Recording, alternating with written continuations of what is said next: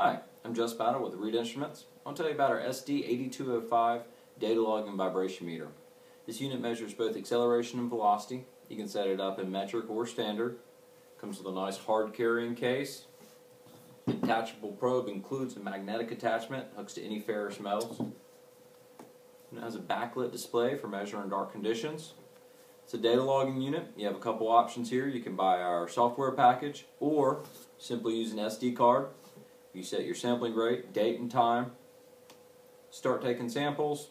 When you're done, remove the card, put in your computer, the results go straight over to Excel. The unit has an optional AC adapter, otherwise simply takes six AA batteries, has a tripod mount on the back, also comes with a stand built right in. It's a great unit, very professional, very good price point. If you have any questions, talk to your local distributor or check us out online at reedinstruments.com.